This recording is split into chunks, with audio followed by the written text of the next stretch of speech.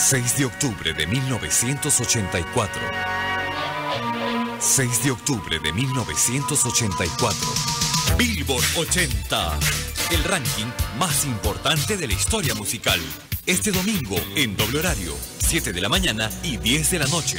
Billboard 80. Solo por Z, Rock and Pop.